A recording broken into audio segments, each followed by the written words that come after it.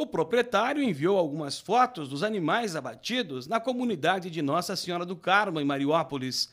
Além do touro da raça Angus, os criminosos abateram também uma vaca prenha no valor de 4 mil reais. Ferramentas usadas para o abate foram deixadas para trás. O proprietário dos animais preferiu não gravar a entrevista, mas disse que fez campana quando percebeu a movimentação estranha. Os ladrões não conseguiram tirar o touro já morto da propriedade, porque foram surpreendidos pelo dono, que contou com o apoio da polícia. Ainda segundo ele, três acusados pelo furto foram detidos, entre eles um menor de idade.